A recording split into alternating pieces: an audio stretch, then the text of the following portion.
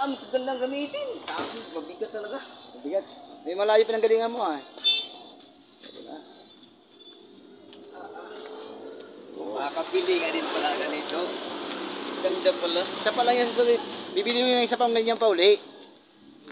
Pero utangin ko na sa susunod. Papautangin mo na ako ha. Baka di mo naman naman pautangin.